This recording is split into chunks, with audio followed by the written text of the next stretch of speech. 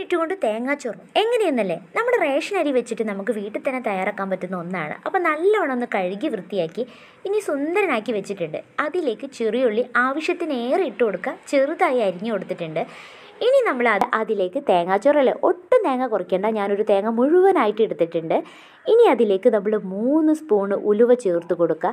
അതിലേക്ക് രണ്ട് സ്പൂണ് പെരിഞ്ചീരകം കൂടി ചേർത്തിട്ട് ആവശ്യത്തിന് ഉപ്പ് ചേർത്ത് കൈ വെച്ചിട്ട് നല്ലവണ്ണം അങ്ങോട്ട് കുഴച്ചെടുക്കുക കേട്ടോ. അതിനുശേഷം നമ്മൾ ഇതിന്റെ വെള്ളത്തിന്റെ അളവ് എന്നല്ലേ? നമ്മൾ ഒരു കപ്പ് അരിയിലേക്ക് ഒന്നര കപ്പ് വെള്ളം കൂടി ചേർത്ത് കൊടുക്കുക. എന്നിട്ട് നമ്മളിതൊന്ന് തിളപ്പിച്ചെടുക്കുകയാണ് കേട്ടോ. ഇനി ഏകദേശം ഒരു പത്ത് മിനിറ്റ് വരെ നമ്മളിതൊന്ന് അടച്ചു വെച്ചതിന് ശേഷം നമ്മുടെ തേങ്ങാച്ചോറ് ഇതാ ഇന്ന് റെഡി ആയിട്ടുണ്ട് കേട്ടോ. അപ്പോൾ നമ്മുടെ തേങ്ങാച്ചോറ് അടിപൊളി. അപ്പോൾ നിങ്ങൾ വീട്ടിലൊക്കെ എല്ലാവർക്കും തയ്യാറാക്കി നോക്കാൻ പറ്റുന്ന ഒന്നാണ്.